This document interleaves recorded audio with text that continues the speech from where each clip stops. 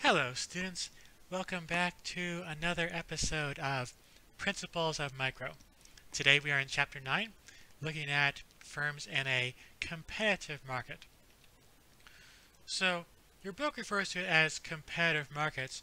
What most books will refer to instead is perfect competition.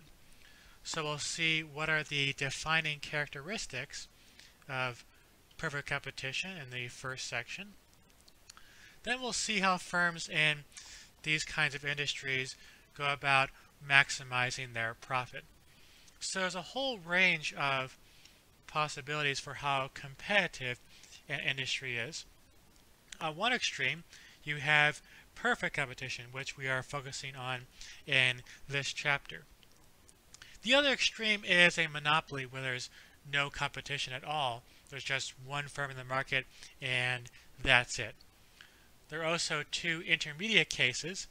Those are oligopolies, with a small handful of really big firms.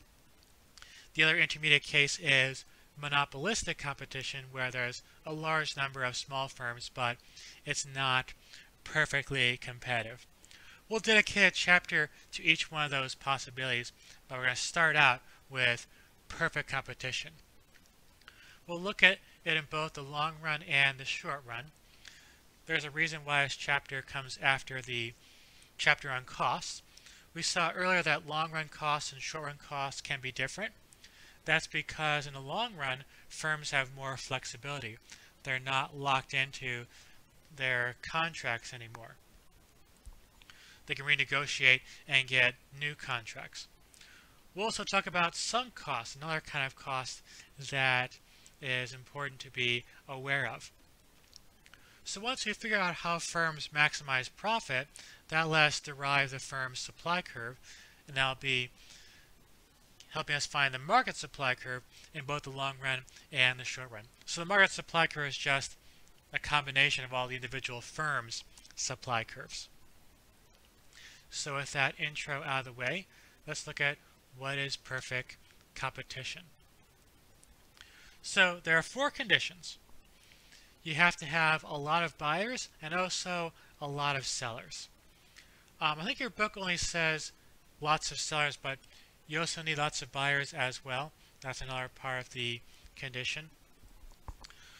Now each firm has to offer similar, if not identical, products. We'll see later on that if you have products that are different, then you get monopolistic competition, which gives you somewhat different results. So you have similar products. You also have to have what's called free entry and free exit. By that we mean a new firm could enter this market without paying any additional costs. Also, if some old firm is losing money and they want to get out of the market, they are free to do so. There's no extra fee you got to pay in order to get out. So that's our third condition. The fourth and final condition, in order to be perfectly competitive, is that everyone is a price taker. We talked about this a little bit in chapter 3, if I'm recalling correctly. Here's just a quick refresher for your memory. By a price taker, we mean that each individual firm and each individual customer is just too small on their own to have any influence over price. As a result, everyone, both consumers and producers, has to just accept the prevailing market price. So the market price is $6. You can't go out there and charge $6.50. If you did, nobody would buy from you. Or if you're a buyer and the prevailing market price is $6 and you're trying to negotiate a price of $5, no one's going to accept it. So that's what, what would happen if you have everyone being a price taker. So some of these conditions are related.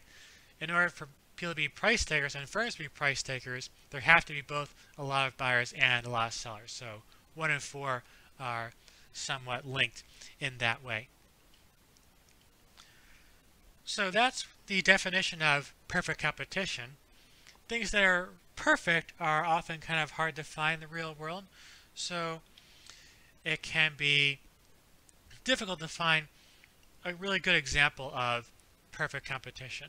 The closest approximation that we can think of is a farmer's market.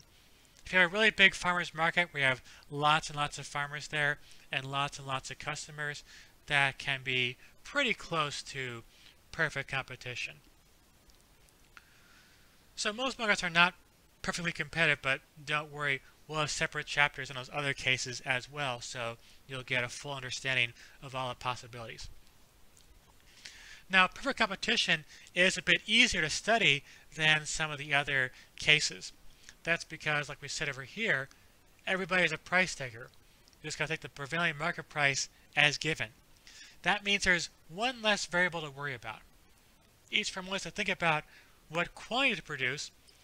They don't think about price because they can't influence price. In other markets where firms have some influence over price, now you got to worry about both price and quantity, so your math is a bit more complicated. We start with the easy case, even if it's not especially realistic, and then we'll work our way up to the more complex case where firms have influence over both price and quantity. So the closest approximation to perfect competition is a farmer's market. You will have lots of buyers and sellers, so that condition is being met. Products are similar. Farmer A's corn is probably the same as Farmer B's corn, so they're similar. Free entry and exit, um, maybe not entirely free, but pretty close to it. Perhaps to keep the farmer's market running, maybe you pay a small fee in order to set up your stall. So not entirely free, but pretty close to it. Free exit, though, is probably satisfying if you want to just stop going to the farmer's market. You are presumably welcome to do so. So it's close to free entry and exit, but not exactly there. Everyone a price taker, um, probably close to being true. Maybe each farmer could have possibly a little bit of influence over price. Depends upon the market. So it's close to pure competition, but not quite exactly there. So that's what perfect competition is. In our next episode, we will learn about how firms maximize profit.